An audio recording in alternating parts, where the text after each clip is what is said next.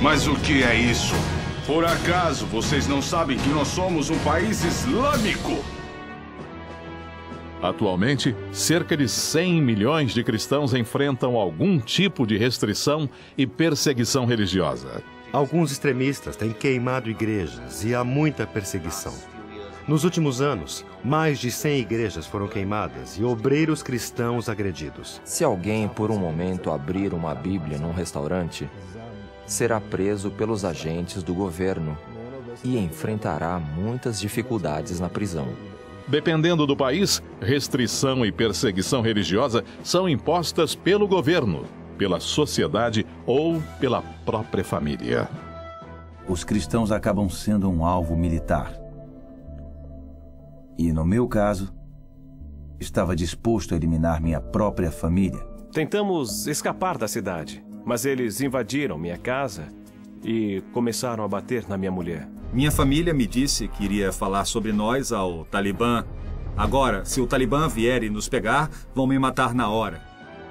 A perseguição tem se intensificado com o passar do tempo. E ouvia as pessoas dizerem: Este é um daqueles líderes cristãos e gritavam: matem, matem, matem. Aí começaram a atirar pedras com toda a força em cima de mim. Há 132 versos no Alcorão que falam sobre matar pessoas e promover o Islã com a espada. Por isso, há 22 anos, o irmão André, fundador da Portas Abertas, criou o Domingo da Igreja Perseguida, conhecido como DIP. Quero convocar você você que tem nos acompanhado ou você que tem acessado o nosso site, você que quer é, fazer algo para que o reino de Deus se expanda, eu quero te convidar a organizar na sua igreja esse dia especial. Fale com a liderança da sua igreja e que cada momento a igreja perseguida esteja na pauta. Nós contamos com você. O DIP é uma mobilização em massa das igrejas brasileiras e também de outros países que promovem o evento voluntariamente para que os membros de sua comunidade saibam mais sobre a realidade da perseguição.